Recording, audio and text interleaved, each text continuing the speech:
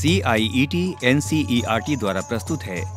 कक्षा आठ की हिंदी की पाठ्य पुस्तक दूरवा के एक पाठ पर आधारित कार्यक्रम, पोंगल। भारत एक कृषि प्रधान देश है।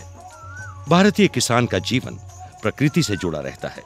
वो प्रकृति के साथ ही हंसता, रोता है, नाचता, गाता है। बुआई, सिंचाई, निराई आदि खेती बाड़ी के सारे काम वो मौसम के अनुसार करता है। जब चारों तरफ़ हरियाली छा जाती है, वृक्ष लताएँ फूलों से लद जाती हैं, तब मानव भी गुनगुनाने लगता है। जब खेत खलियान अनाज से भर जाते हैं, तब उसके पाँव थिरक उठते हैं। वो उत्सव मनाने के लिए मचल उठता है।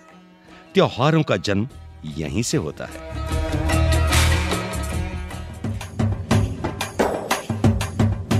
पोंगल नई फ़सल का त्योहार है। यह संक्रांति के दिन मनाया जाता है। तमिलनाडु का यह प्रमुख त्योहार है। यह जनवरी में मनाया जाता है। पोंगल में खेतों से सुनहरे रंग का नया धान कटकर किसान के घर आता है। गन्ने के खेत की फ़सल तैयार होती है। बागीचे में हल्दी का पौधा लहलहा उठता है।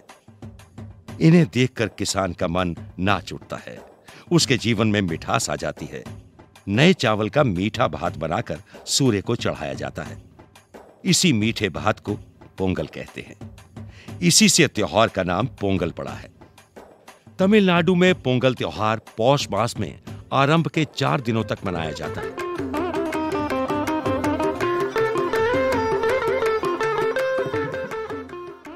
पोंगल के पहले दिन लोग भोगी का त्योहार मनाते हैं। पूरे घर की सफ़ाई की जाती है।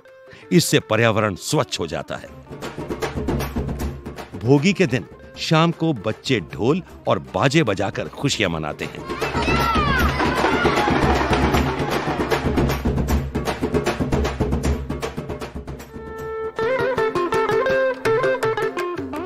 पोंगल के दिन घर आँगन को रंगोली से सजाते हैं। नहा धोकर सभी लोग नए कपड़े पहनते हैं। उस दिन सब कुछ नया होता है। आँगन में अंगीठी जलाकर नए बर्तन में पोंगल पकाया जाता है। बर्तन में हल्दी का पौधा बाँध दिया जाता है। गन्ने के रस में नई फ़सल का चावल पकाया जाता है। जब चावल उबलकर ऊपर उठता है तो उसमें दूध डाल देते हैं। दूध के साथ उफनता हुआ पोंगल बर्तन के ऊपर से उमड़ता है और चारों ओर रिसकर आँच में टपक पड़ता है। उस समय चारों ओर इकट्ठे लोग खुशी से नाच उठते हैं और जोश में चिल्लाते हैं पोंगलो पोंगल पोंगलो पोंगल, पोंगल उन्हें प्रसन्नता होती है कि सूर्य और अग्नि ने पोंगल का भोग स्वीकार कर लिया है। लोग अपने आस पड़ोस में पोंगल बांटते हैं। उसके बाद मित्र और सगे संबंधी सब मिलकर बढ़िया भोजन करते हैं। पोंगल के दिन हर तमिल भाषी, चाहे वो भारत के किसी कोने में रहता हो, अपने घर पहुँचने की कोशिश करता है। विवाहित लड़कियाँ पोंगल मनाने अपने मायके आती हैं।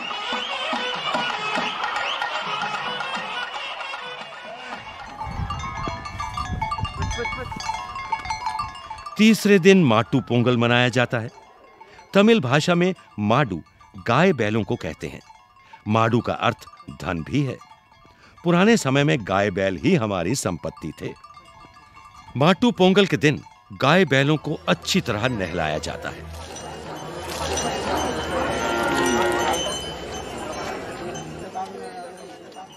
लोग उनके सींगों को रंगते हैं और उन्हें रंगीन कपड़ों से सजाते हैं। उनके गले में फूल मालाएँ पहनाते हैं तथा उन्हें गुड़ और अच्छी अच्छी चीज़ें खिलाते हैं। शाम को मैदान में बैलों को दौड़ाया जाता है।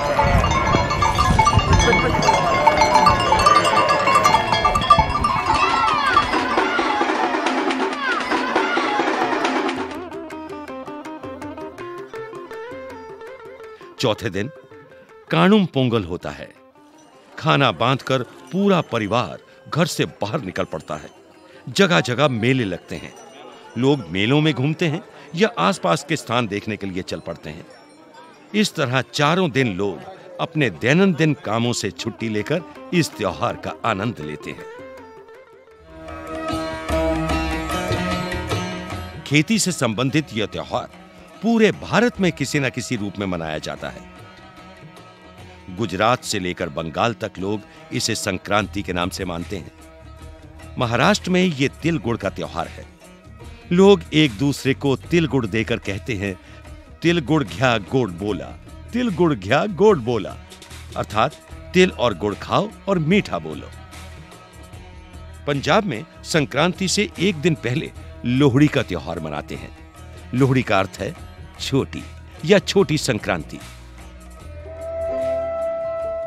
अरुणाचल प्रदेश में पानुंग का त्योहार भी इसी समय मनाया जाता है। विविधता में एकता भारत की विशेषता है। एक ही त्योहार को लोग विविध रूपों में मनाकर भारत की सांस्कृतिक एकता को मज़बूत बनाते हैं।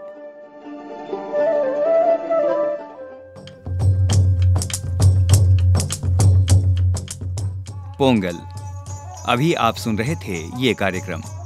कलाकार अश्विनी वालिया, ध्वनियांकन बटी लैंगलिंगडो, विशेष परामर्श अजीत होरो, ध्वनि संपादन, निर्देशन तथा निर्माण विमलेश चौधरी तथा प्रस्तुति C I E T N C E R T नई दिल्ली।